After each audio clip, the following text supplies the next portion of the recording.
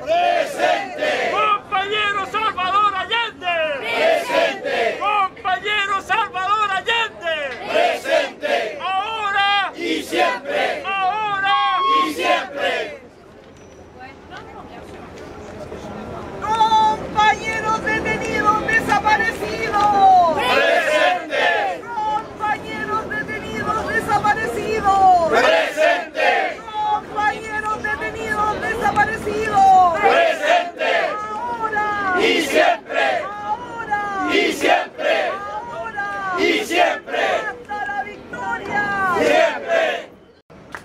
Queremos agradecer la presencia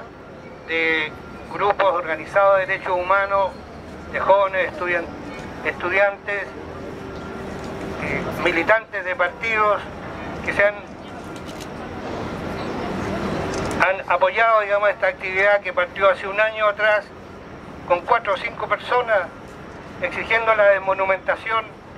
de la dictadura, especialmente digamos, sacar la estatua de Merino, asesino, golpista, responsable de toda la represión acá en Valparaíso. En ese plano, en estos 41 años, objetivamente se nos presentan una serie de tareas hacia adelante,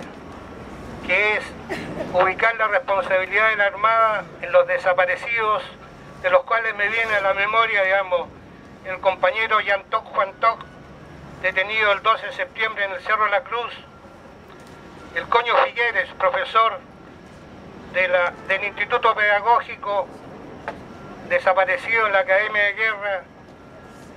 Silvio Pardo, eh, desaparecido en el Silva Palma, y muchos otros compañeros de los cuales,